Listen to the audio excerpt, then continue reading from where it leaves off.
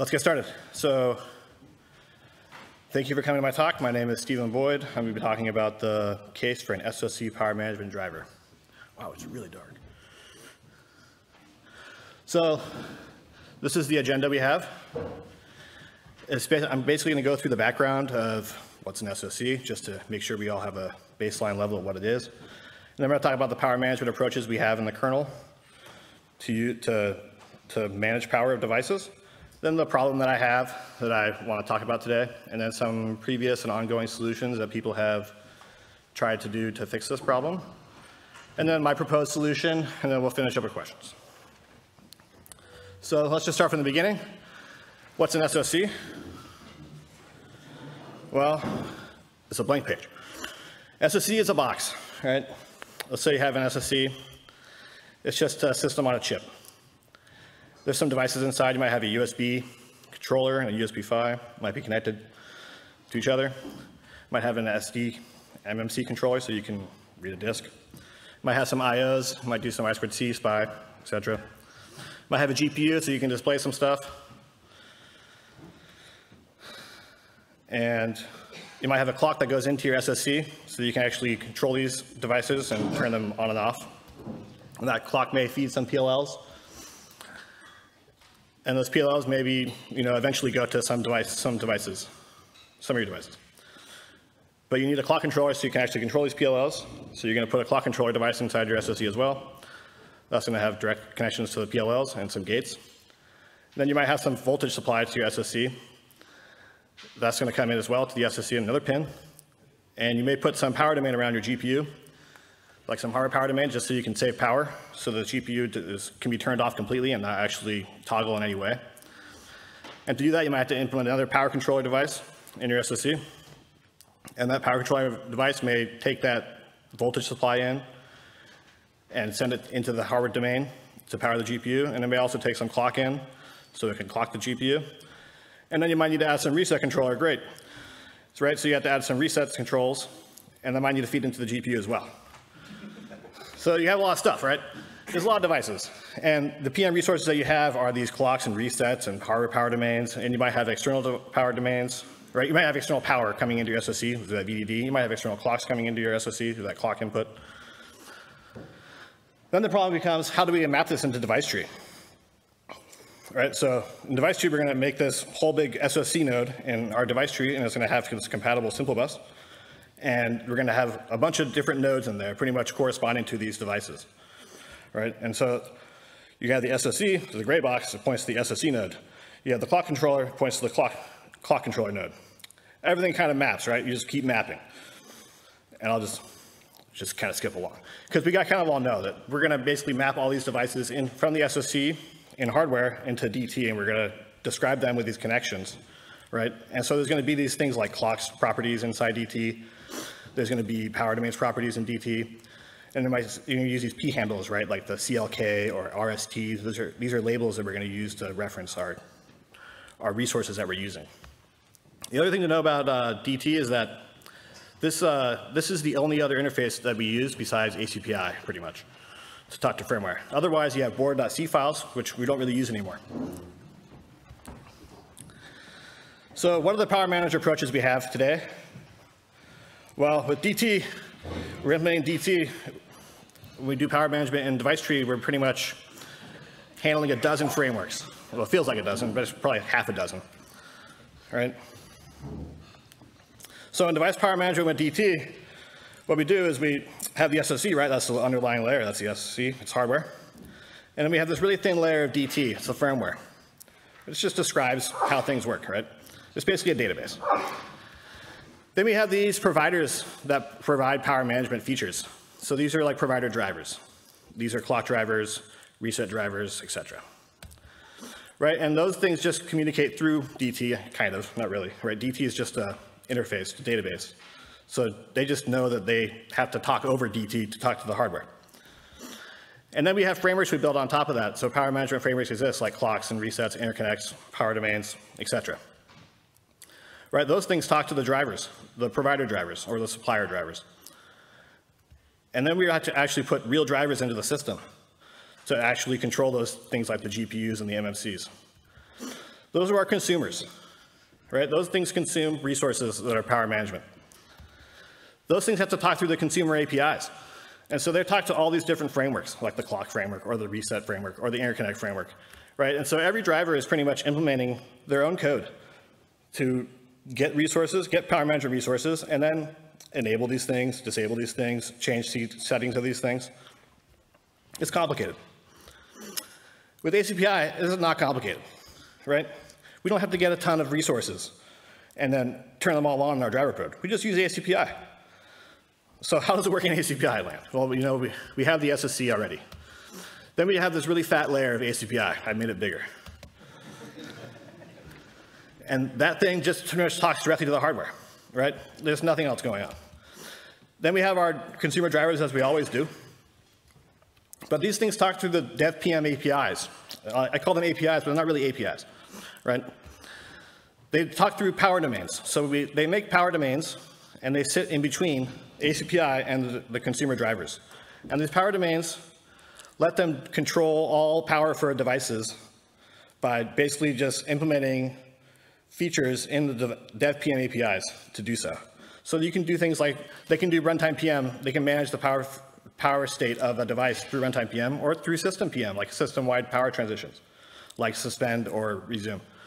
And they can also even like uh, set QoS on devices and then say, hey, I want this device not to go to the deepest power state, maybe a slightly shallower power state.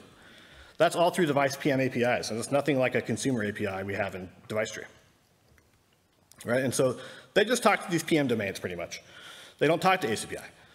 And the PM domains just talk to ACPI. So it's like an intermediate layer. So how do the PM domains work? Well, they act like this mini device driver for your device. They pretty much take all the power management features out of your device driver and put them into this PM domain layer. And the ACPI support, when PM domains were added, they actually added, Rafael actually added ACPI support as well when PM domains were created so that you could, uh, so they could control the device power states. I, I need to make my slide bigger so I can see. Hold on. So this is pretty much how PM domains work. They attach to, to every device. They can attach to any device in the system because for a struct device, they can have one PM domain. And with ACPI, there's these two power states that are the most important. There's D0, which is on, and D3, which is off. And ACPI implements this support by basically writing in the PM domain code in this ACPI general PM domain how to turn on and off a device by basically asking ACPI, hey, put this device into D0 or put this device into D3, depending on what the device driver wants to happen. And also, importantly, puts the device into D0 before it gets probed. So if the system is trying to probe devices, it's going to power on any device that it sees that's a platform device in ACPI by saying, hey, ACPI, put this on, put this into D0, and then, then call driver probe, and driver probe can run. And then when the device is, when the driver is unbound, ACPI is going to put it into the, the deepest power state it can. Basically power it off as much as you can. So this device is not on, because there's no driver driving it, right?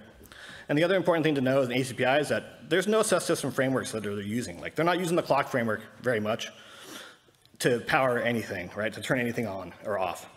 They don't use that. They just use ACPI. So what's the problem?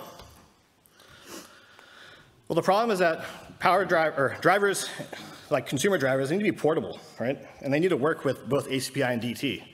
And right now, they pretty much have to know, hey, am I running on DT or am I running on ACPI? And then they have to know, oh, I'm running on, on DT, so I must power on my device now at Pro so I can actually read stuff. Whereas in ACPI, it's like, hey, it's already on.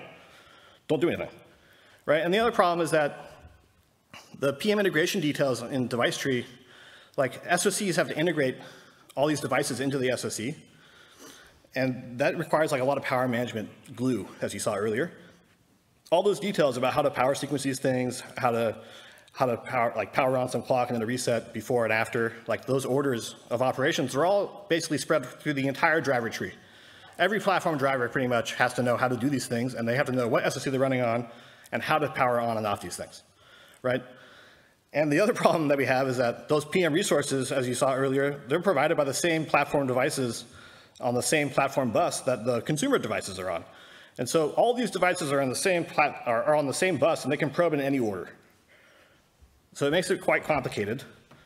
And, and the overall power state of the SoC is completely unknown because it's basically buried inside all the kernel subsystems for power management, right? We don't know what, uh, what clock is on or off or what regulator is on and off because those are just like isolated and kept away from each other. We don't know from a holistic viewpoint of the SoC, hey, what things are you using and what things are on and off outside of this SoC, right? Like we don't know. We have to go ask every single framework, what's the story? So what do we want in a solution? Well, we need some solutions to this problem, and we need to make sure that we don't actually change device tree because that would be that would be like a huge change and require like backwards incompatible changes, and pretty much device is not going to accept that. The other thing we want to do is we want to remove all the SoC PM details from platform drivers so that they don't have to, you know, power on something before they probe or during probe or get even even have to get PM resources because it's just like a bunch of glue that they don't really need to do. And we also want to let drivers keep using those resources if they really want to. Maybe they have to change some phase of the clock, or maybe they have to tune some feature of some other PM resource. That's not really like an on-off state. It's more of like a, hey, I need to figure out what this rate is or something, right? Like I need to figure out how to, how to calculate some rate for my internal dividers so I can figure out how to calculate a clock rate that I really need. So like those kind of things, we, we can let them exist until a later point. And we also want to provide these consistent device power states so that they know, like, hey, my platform can turn on just by describing what these things are, like what power resources I use, turn them on, right? We shouldn't have to require the every SoC driver, every SoC compatible string to basically say, hey, turn on this device, turn this off, turn off this resource, turn on this re other resource. And the other nice thing that we'd want to do is we want to turn off all these unused PM resources if we can, right?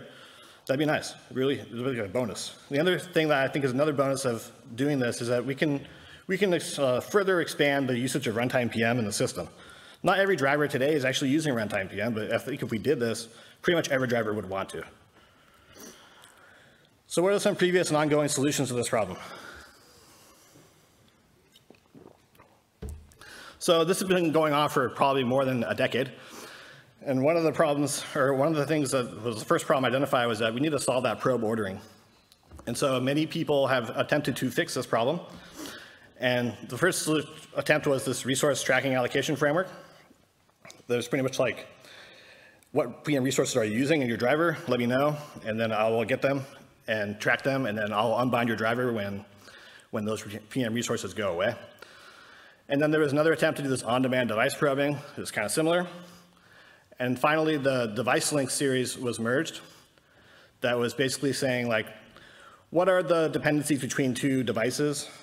And these aren't parent-child dependencies. This is just like, hey, are you a supplier, as this device B is? And are you a consumer? Let me make a device link between you. And the other, the other important thing of the, of the patch series is that it didn't actually implement it at all as a didn't implement the creation of the device links. All it did was just provide the framework to do so. So what had to happen after that was we had to implement firmware, device, firmware dev link, is what it's called, or firmware device links.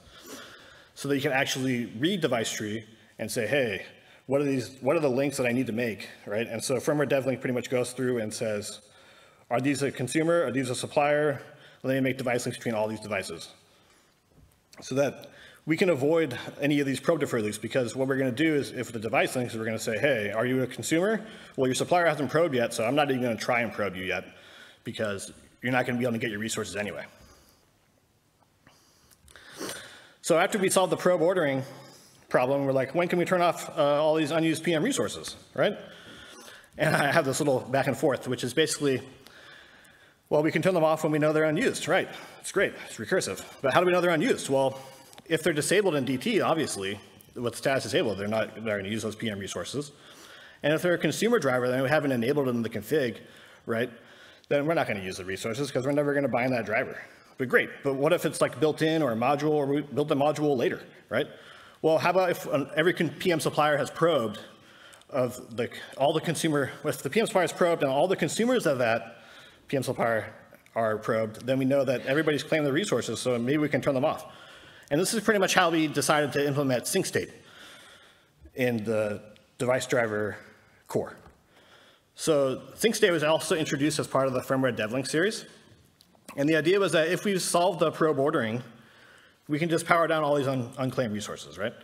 So the general idea is we call sync state. When, when this device link is made, we say, okay, have all these device links probed. Every, every consumer has probed. Okay, great. Let me call sync state now. And as a, you as a supplier can go turn off all your unused resources, right? Because all your consumer drivers are, are bound. Cool. The problem is that it doesn't really work. We can't do the power off on sequencing that we need to do between all the kernel subsystems because what we're doing is we're calling every supplier in the system saying, okay, all your consumers are done. But we don't know, like, we don't talk between the kernel frameworks today, right? We don't say, hey, regulator framework, I need to power off you, power off that regulator after I turn off the clock because I don't want to keep it, you know, clocking with no power. And the other problem that it has is that it seems that all these PM resources are supplied by device drivers on the kernel. In the ACPI, we don't have that, right? ACPI is it's hiding all this feature, all this stuff from you, and so you don't know when to call sync state. There's no reason to call sync state. There's no supplier at all. And the other thing is that it requires all these consumer drivers to actually probe. Well, we never know when they're all going to probe because we don't know when they're going to when the module will finally be loaded. So we have a kind of a problem there. And and we pretty much have a timeout right now to say, hey, sync state needs to timeout after so many seconds because we don't know. And another problem is that firmware devlink is not actually always correct. So if you have loops between suppliers and consumers, it just kind of says, okay, when both of these have probed, then we're, then we're good. But we don't really know if any resource that those things have is actually optional. And in the sense like, it may not actually need to turn on that resource to talk to its hardware initially right? It could just be something for a, a specific power state of the device, like a high performance state, like I might need to use this later. So the other solution is we can just go back to ACPI, right? That solves all our problems. It'd be easy. Well, the problem is we can't because we have firmware that's shipping today and we're not going to go like rewrite all the firmware to just use ACPI and solve this problem. So let's brainstorm a little bit well, earlier solutions were all taking like this bottom up or top down approach, right? Like we were trying to track what, what consumers are, are in the system and, and then whenever any consumer is there, then we know the resources are claimed, right? Or we may know like, oh, with device links and sync state, like all the suppliers, right? They, they, they are in control. They know what they do and they don't need to talk to anybody else in the system. They are like fully isolated and very happy to work by themselves. So I'm proposing that we think about something else. Let's use PM domains, right, to sit in the middleware and as the middle layer between the suppliers and the consumers. And it'll nicely align with ACPI because ACPI is already using PM domains, and it'll let us coordinate the power sequencing between all the kernel frameworks. And another important thing to know is that all the all the PM resources are, are today like influenced by these consumer device power states, right? So the shared, the shared resources, they, they feed in to the device power state of the whole SOC. And we want to know that a supplier has, is, uh, like, we're trying to like avoid getting into these supplier uh, consumer interactions in, in general. So let's use generic PM domains. So generic PM domains is like a layer on top of the just PM domains, the dev PM domain. It basically inherits the dev PM domain and wraps it in another struct. And it lets us power on things and power off things when they probe or when drivers probe or remove. And it's very similar to how ACPI works. The, the other thing that's kind of neat about PM domains is that they can contain many devices right? And so they, we could coordinate the power for like many devices are all sharing the same PM resource. If we have that case today, I don't know. I mean, some of you might have that case. And the other good thing about PM domains is that, hey, DT bindings are already supported, right? We have power domain cells and power domains properties in DT to say like, hey, I'm a consumer of power domain or I'm a supplier of power domains, and we've hooked us all into the system. The other cool thing I missed here is that they're nestable. So we can say like, hey, I have an overall power domain for the whole SoC, right? And that thing is like the parent of all the other power domains for every device, which can let us like actually describe the SoC power state. The problem is that no one really thinks PM domains are gonna work. It doesn't seem very safe. There's been a lot of barriers to, I, feel, adoption of generic PM domains because DT really encourages you to describe those all in device tree. Because, hey, we already have that property, so why don't you just do that, right? Just use that property. So we could fake it out by adding this power domain cells to every PM supplier in the system, or we could fake it and be like, hey, that SOC node, that's a power domain, right? So that could be a power domain provider. And then every child node could just have power domains property to point to the SOC parent node. None of these solutions really seem great to me because it requires us to go change DT. And, and I don't want to go change every binding in the system. That sounds like a huge pain and basically impossible. And so let's try and let's avoid that. And the other problem with using generic power domains is that we can't get in the middle of device creation today. So right now in the system, if you have simple PM bus in your SOC node, the system is going to basically create a device with OF platform default populate and also add it to the platform bus all in one call. So we can't even like associate a PM domain with a struct device because we don't know when the driver is going to probe that device is going to be created, and we can't just like get in between or like try and use some hack to do like earlier init calls to, hey, you know, let me insert a power domain here. I hope that you haven't been probed yet, kind of situation, or like I'll, I'll, unbind you and then rebind you. It's just not going to work. The other thing that we have a problem, slight problem, is that only one PM domain can exist per device. So if you have in DT that you have some power domain property, well, it's already technically claimed. And so you can't just add another PM domain because the core code is going to say, oh, I see you have a power domains property in DT, so let me associate some PM domain from that provider that you said you use in DT. And removing direct control of those PM resources is actually going to be hard sometimes. Some devices, as I said earlier, are going to have to like to figure out what their clock rate really is to program some internal divider or say like, you know, I need to change some link rate of my device controller or my display controller needs a particular link rate, so I need to figure out what my clock really is, right? So these, these kind of things are not going to be so easy to just like completely erase from the system. So my proposal is to implement this SOC PM driver. The TLDR is that we're going to basically bind a driver to the SOC node, and we're going to associate PM domains with all the platform devices that we're going to create of the SOC node, and then we're going to move all the PM code that we can from platform drivers today into these PM domains. And then we're going to be done. Now, usually when I say this, people go, oh, yeah, that sounds great. You want to basically write a board file. I'm like, no, I don't want to write a board file, right? I don't want to do that at all. I just want to create PM domains and attach them to these devices so that I can remove all the code from the drivers. I don't want to go populate devices and describe all their properties and say all their connections between devices. I don't care, right? I just want to say that these devices exist, they describe them DT, and they are associated with some PM domain that I've made in software so that I can power them on and off. So what's the block diagram solution? This is it. Oh, I didn't animate this one. It's good. So the SOC can still be there, right? Everything's pretty much the same. What we did is we basically inserted this dev PM domains in the middle of the consumers and the suppliers. And we put it on top of the consumer APIs so that the device drivers don't have to talk to anything unless they really want to by basically just using dev PM, PM APIs like ACPI does, and they call it a day. So what's the implementation? Well, what we do is we basically introduce a driver for the SOC node, like vendor SoC 9000, and then we're going to call OF platform default populate. Did it. We made devices, right? That's pretty much exactly what OF platform default populate does today, but without a specific compatible string. So we just add this extra compatible string so we can say, hey, I want to use this specific driver. And then we add the PM domains to all the child devices that we've added to the platform bus. So what we're going to do is we're going to split OF platform default populate in half. We're going to create the platform devices in one call, and we're going to add them to the platform bus in another call, and then we're going to add the PM domain in between the two. So as we do in this example code, we're going to do this OF platform device alloc, then we're going to set the PM domain, and then we're going to add it. Cool. And then what we're going to do is we're going to implement code in the PM domains. So like in PM domain activate, we're going to get the, re the resources that we need for this driver. Basically, we're going to parse DT, which we don't even need to do because all the frameworks already do that for us.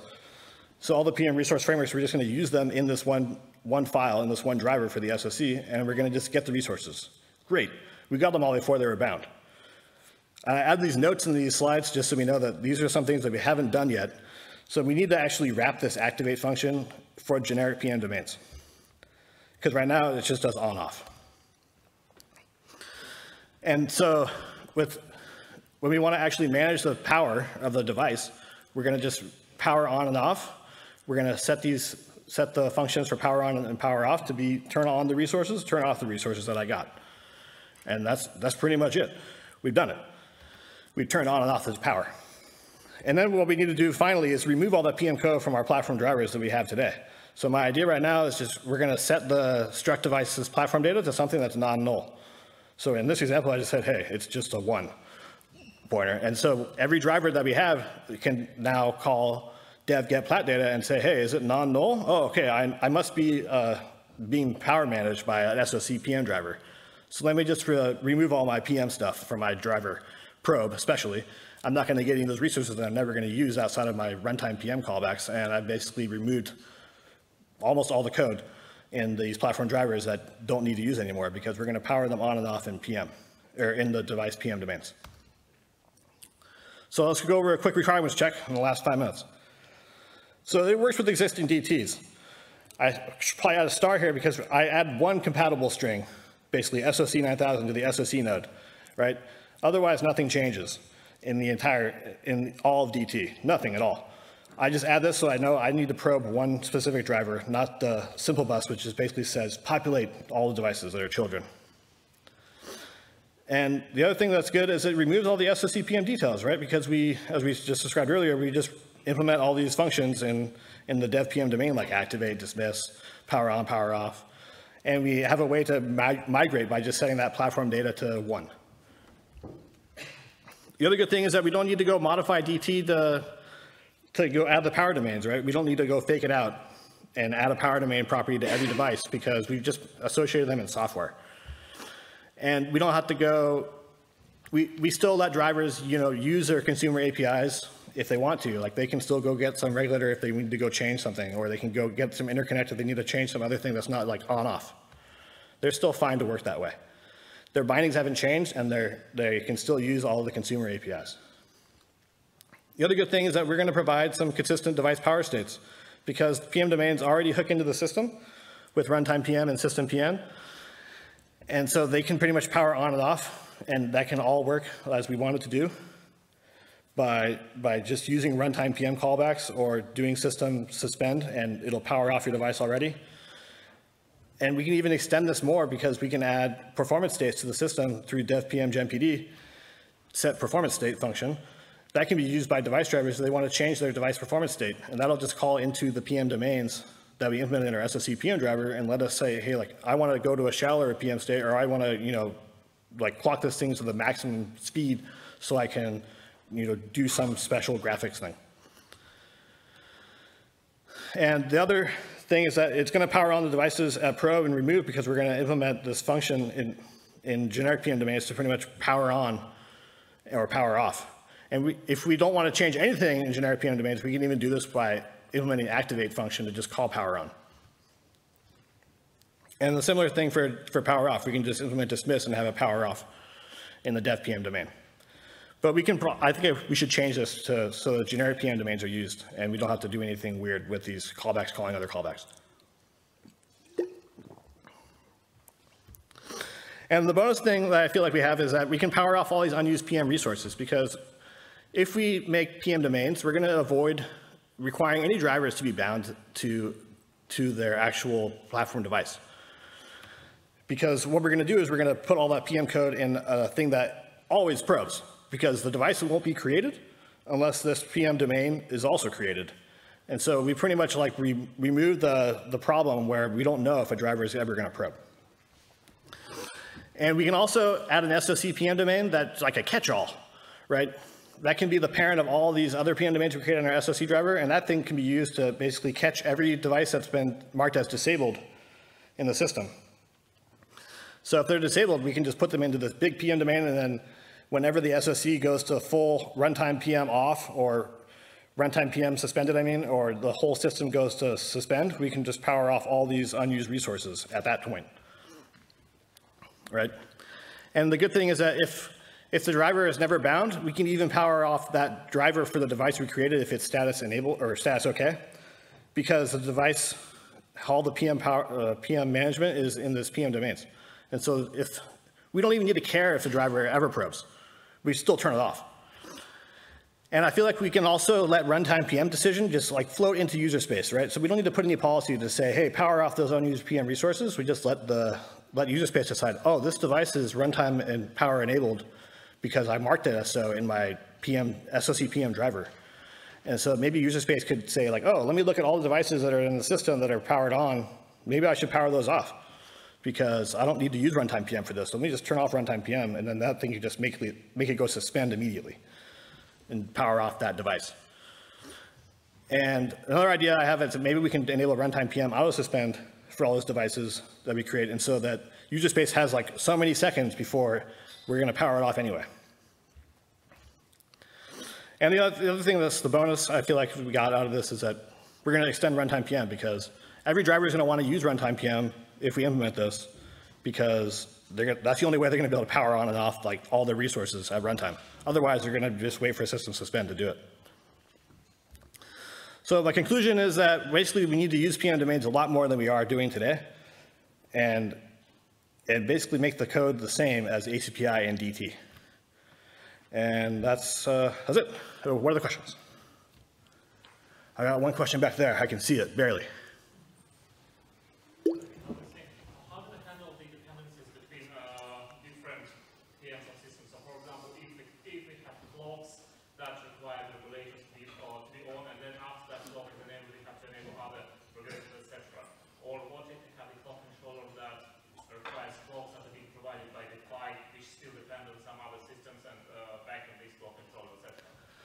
So, yeah, how do we handle that in the device driver so it is not spread to SOC code?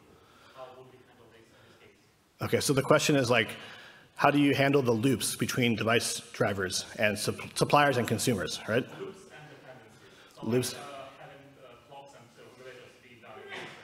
so the power sequencing will be handled in the PM domain already because that will know I use all these resources for a device right? I use this clock, I use this regulator, and it knows when to turn on one or the other because that's all SOC information, right? So that's that's solved. But I think you're talking more about like how do you handle some problem where some clock in is supplied to another clock controller or something like this, and then that clock controller needs to turn on this clock before that clock, or like this thing needs to get some voltage, like this clock controller gets some voltage and it needs to turn on the voltage so that the clock works? Is that what you're talking about? Basically all of such because currently we have them in device drivers and so they're not going to a generic huge board file or non-board file. But I really feel that with, with this approach we are going to end up with a non-board SOC driver which handles all the devices in the, or which describes all the devices yeah, this, SOC driver will not describe all the devices in the system because that's still going to be left up to device tree to say, hey, these devices exist. So if anything, it would describe like maybe a compatible string of I need to look at this device in particular to say, you know, I need to handle some corner case because I know I'm running on this SOC and this has this device and it's described in DT. So let me go look at that. Let me look for that specific compatible and then do something. I mean, that sounds fine to me. I don't think that's a problem. It's not like every device in the system is going to require a special handling, right? So it's not going to be that, that bad. But I agree that the loops is technically a problem, but clock controllers, like they, they are also devices and they can also have PM domains associated with them. So in theory, we can handle that special case by saying, hey, I'm running on this SoC and I know that I have this SoC clock controller. Let me go handle all the magic in PM domains still. I'll wait for this device to come I'll wait for this other device to probe and provide that thing, right?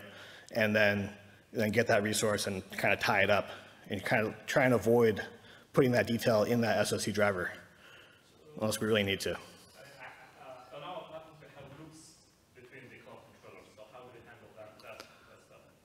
Yeah, so the loops are, can be handled between clock controllers. We can just wait for we don't need to wait at all. We can just let all these things probe, and then we don't need to technically power them on before they probe.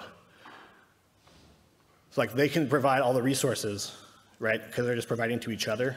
And the clock framework can handle linkage, linkage between these clocks in the framework. And so these PM domains don't need to power on those clocks that these clock controllers are consuming because they don't really need them. Some of them, right? And it'll know because the, the SoC compatible will tell it, oh, this is a, this is that one. And so this clock is not really needed to power on, right? It's just needed to link up. And so we can avoid that problem entirely. We just power on the things we really need to power on, not the things that are not required to power on. Okay. Got a question over here? Um, Should Linux have a way to bind devices without probing? Bind devices. Well, binding is basically means probing. One of the problems is until you probe it, you don't know it exists. No. So in Linux, we know a device exists before probing it because we've populated it from DT. So like there's in, in uh, the driver core, a device, a struct device exists and it's added to the bus, the device exists. We know it exists. We haven't had to probe it with a, with a driver to figure out the device is there. It's just that you see a lot of deferred probes and and stuff like that, and I wonder whether that is because there's, there's no awareness of the existence of devices early enough. So you're saying that there's no awareness of devices early enough, and that's why the deferred probes exist? I mean, deferred probes are mostly gone today because of the firmware devlink code. So we don't really have probe deferred loops as much, unless we get into the cases where like there's a consumer supplier and they're both depend on each other, and then they just, it just gives up, and then lets probe defer happen. But that's pretty rare. Most of the other cases are solved, and so devices are known and they exist. The problem that we have is that those, the OF platform default populate code pretty much just goes right through the system and says, oh, are you simple bus? Let me just make every device that is there and just add it all to the platform bus. Oh, I, my speaker got cut off. Are there more questions? I got one here earlier. Um, what's the plan for error handling inside the probe of the generic uh, core domains and inside core as well? So in the, the error handling, what's the plan for error inside the generic PM domains and also in Pro, or Power up?